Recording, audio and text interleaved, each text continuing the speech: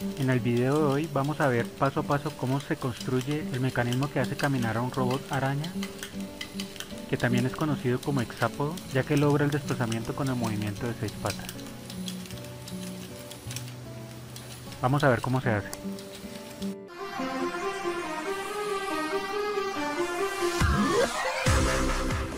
Esta es la mecánica que vamos a utilizar para construir el robot hexápodo o robot araña.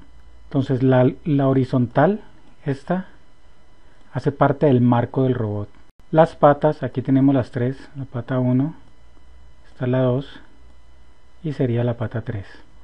La pata 1, la pata 1, punto de conexión al marco y ese punto es móvil, no puede quedar fijo. Lo mismo ocurre con estas dos barras transversales, esta es la barra transversal 1 y la barra transversal 2. Llevan puntos móviles también.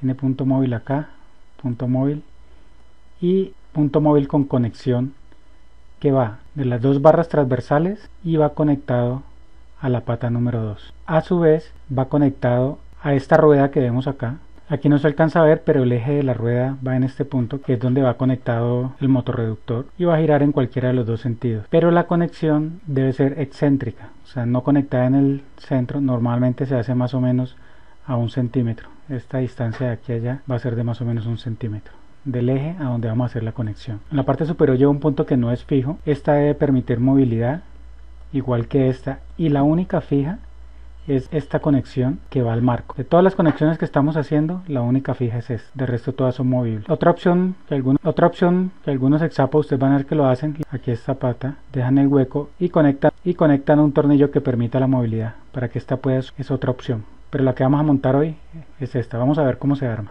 Para iniciar a construir el robot araña debemos hacer el armazón que va a soportar las patas. Para esto compré un pedazo de balso de 15 por 15 milímetros y una longitud de casi un metro. Se cortó en dos pedazos de 20 centímetros y dos de 12 centímetros.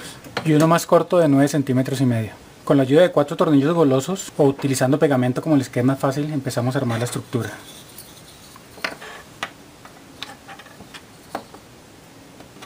Unimos los dos primeros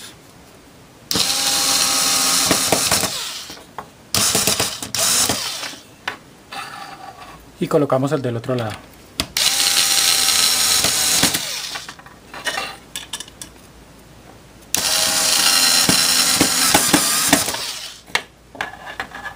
Cuando ya tengamos esa estructura armada, debemos colocar el pedazo de madera que da la parte interna.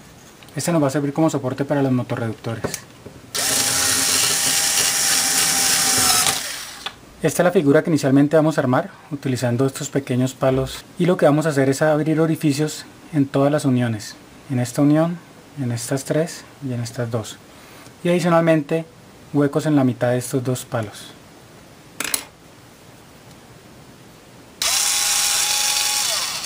Cuando ya tengamos orificios en todas las uniones, en el punto medio de estos dos palos y en el superior de este, vamos a empezar a unirlos. Para unirlo lo que cogemos es un clic normal, lo enderezamos y por un extremo le damos una vuelta grande y luego lo cogemos con la parte más pequeña. De tal forma que quede algo como así. Luego lo cortamos más o menos a un centímetro y realizamos la unión. Atravesamos por uno y por otro que nos demos cuenta que alcanza a quedar movilidad y en el otro extremo lo doblamos y empezamos a cerrarlo en círculos.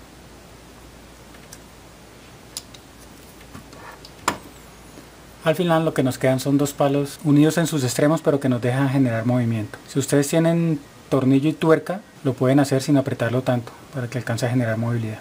Y lo mismo hacemos para estos tres puntos. En algunos casos no queremos que las patas vayan a resbalar, entonces podemos coger un poco de lija cortamos un pequeño pedazo de lija y con algún pegamento se la colocamos en las esquinas. Luego al motor reductor buscamos que añadirle, en este caso yo le voy a colocar las llantas, no es lo ideal, lo ideal sería una polea y más o menos a un centímetro de radio abrimos un orificio. Este orificio nos va a servir para poder soportar la pata que va a dar inicialmente movimiento al resto. Luego con otro pedazo de clip igual atravesamos la llanta y los tres palos. Aquí ya tenemos la llanta y los palos formando una especie de M. Y lo que nos falta es colocarle otros dos palos, aquí ya lo dice en la parte superior, mucho más cortos, formando esta base fija que va a quedar. Todo con uniones que generen movilidad. Recuerden que esta unión no va en el centro de la llanta, va más o menos a un centímetro. El punto de conexión. Lo siguiente que hacemos es instalar el motorreductor. Debemos colocarlo de esta forma y que quede mostrando solamente el eje. Lo aseguramos con un pedazo de cinta. Lo apretamos bien fuerte y nos queda listo nuestro motor. Ahora sí podemos montar las patas. Conectamos la rueda al eje y vamos a asegurar nuestras patas. Como el balsa es una madera muy suave y fácil de perforar, voy a utilizar unas agujas con cabeza redonda.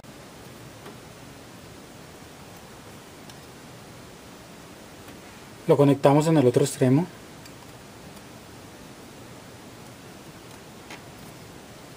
Y por último vamos a conectar este a la estructura este es el único punto que realmente debe quedar fijo. A este no le colocamos solamente un punto, sino por lo menos dos o tres puntos para que quede completamente fijo.